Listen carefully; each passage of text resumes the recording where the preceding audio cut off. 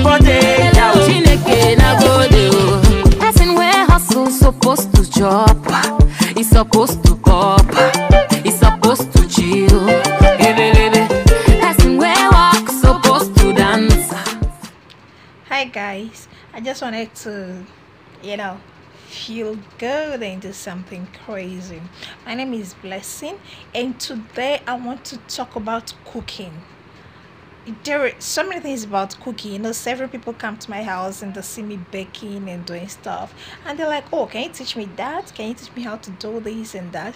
And so I just start myself. By the way, yeah, I like to cook a lot, but I necessarily do not use a lot of measurements when I want to learn something new, I actually go Google it and I just basically look at the steps and the ingredients involved and I use my intuition.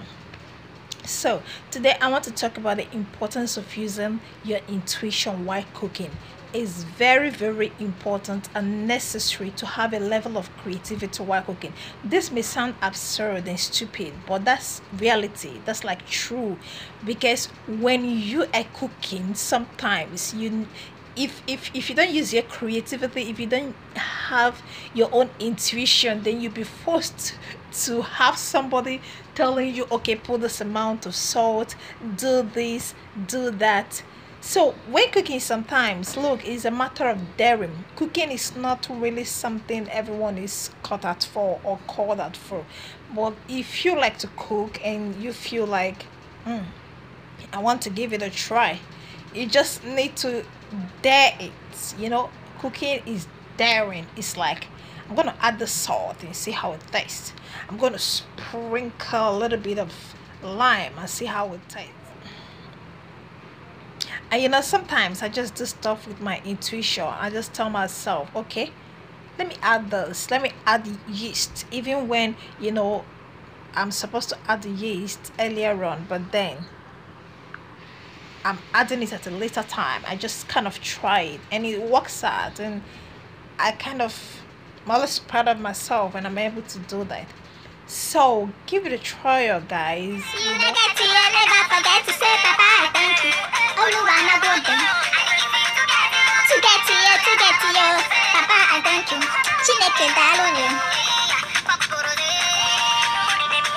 When you are cooking, do not necessarily be afraid. Like, have I put the right amount of this? Let me check online the measurements. You know, you need. I don't have a scale in my house. Like, I don't even scale my flour when I want to measure it and use it for something. I don't scale the quantity of baking powder.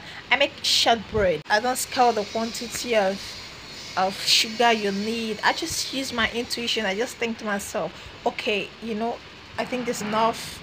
And I test it also. Like I get to taste it. And by looking at it too, I've I'm getting used to cooking. Not that I've totally gotten used to it.